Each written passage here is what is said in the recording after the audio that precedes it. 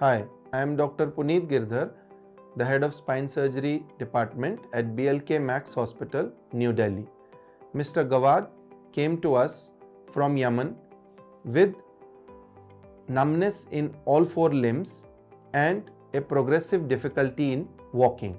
اسمي جواد سعيد ناشر الشوافي العمر 52 عام آه، طبعا كنت أعاني فيما قبل السفر إلى المستشفى من أمراض آه، تنمل في اليد مع ثقل مع عدم قدرة على الكتابة.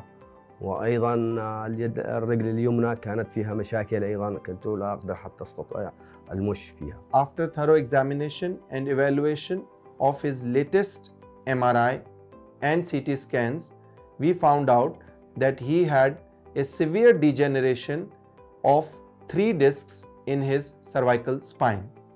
They were causing significant compression on the spinal cord.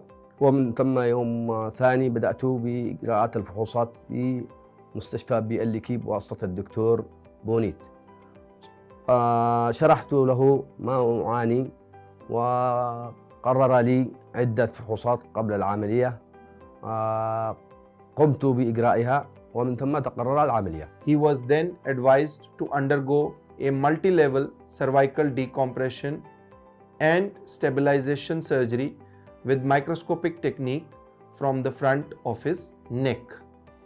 It was a procedure which was performed with minimal blood loss and he was discharged within a day of the surgery completely relieved of his symptoms.